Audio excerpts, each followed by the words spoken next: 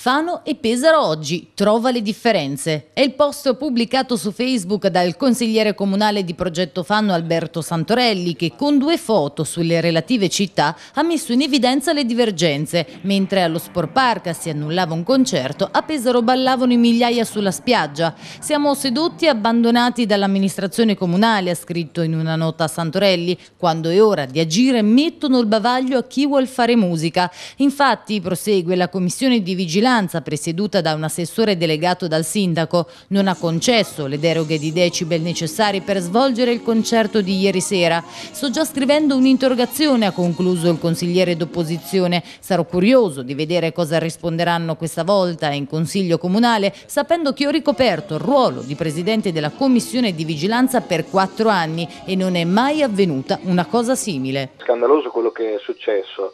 Stiamo parlando di, un, di un'iniziativa dove il privato ha investito importanti somme per portare a Fano eh, tanta gente, tanti turisti e per fare intrattenimento in una settimana come quella di luglio e l'ha fatto concordandolo anche con l'amministrazione comunale. E qui veramente viene fuori tutta l'incapacità di questa amministrazione comunale che non è stata in grado di garantire le deroghe necessarie per i decibel, quindi per far suonare la musica e ha eh, permesso a un, eh, a un, privato, un cittadino, quindi di, chiamando l'ARPAM, poi di vedersi costretta a eh, interrompere il permesso perché erano stati sforati i decibel consentiti. Ma quei decibel evidenti che non sono, non sono sufficienti per eh, concerti di, di, questo tipo, andava fatta un'altra deroga, ma come già avvenuto durante la scorsa estate, anche questa volta l'amministrazione ha deciso di mettere il bavaglio a chi vuole fare della musica.